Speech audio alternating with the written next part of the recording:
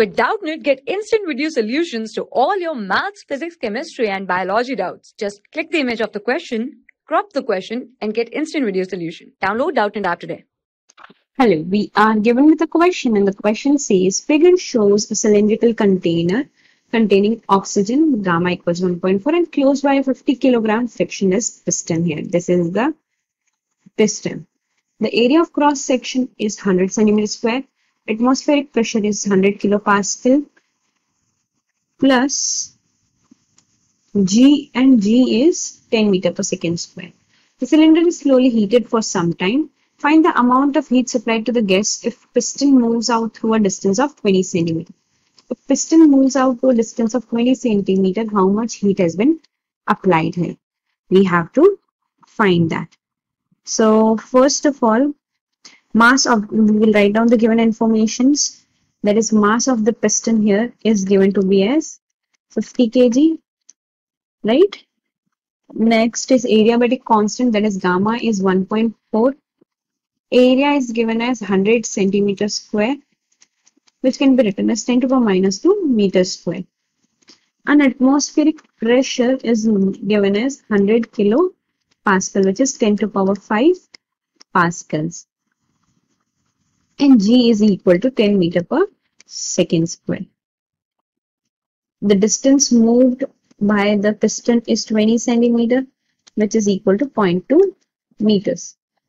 These are the data that has been provided in the question itself. So work done by the gas would be equal to PdV, right? Work done is nothing but PdV. P is pressure and dV is the change in volume here.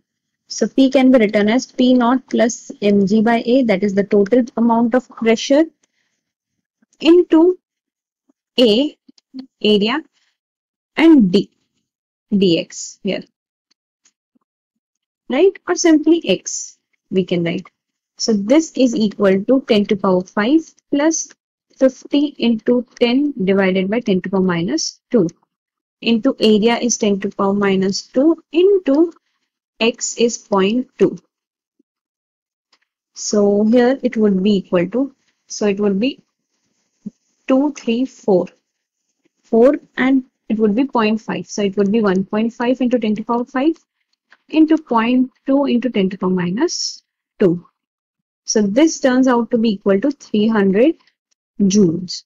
So that is the amount of work done here, right? Using gas equation that is PV ideal gas equation PV equals to nRT. What we get is PdV plus VdP equals nRDT. PdV is given as 300, right? Since dP, there is no change in pressure, so dP is 0. So this would be 300 equals nRT, nRDT, right? So from here, dt can be written as 300 by nr.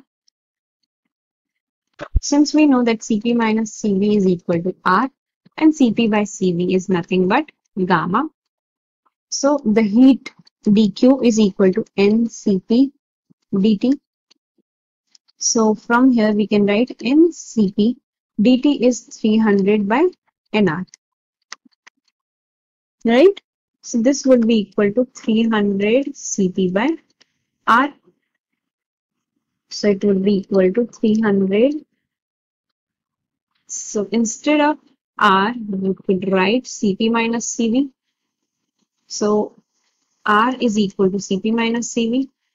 R by Cp is equal to 1 minus Cv by Cp.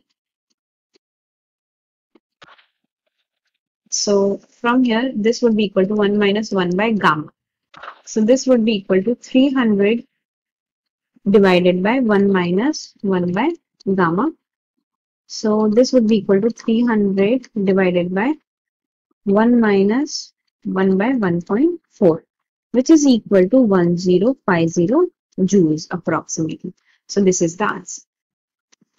Thank you. For class 6 to 12, IIT JEE and NEET level. Trusted by more than 5 crore students. Download Doubtnut app today.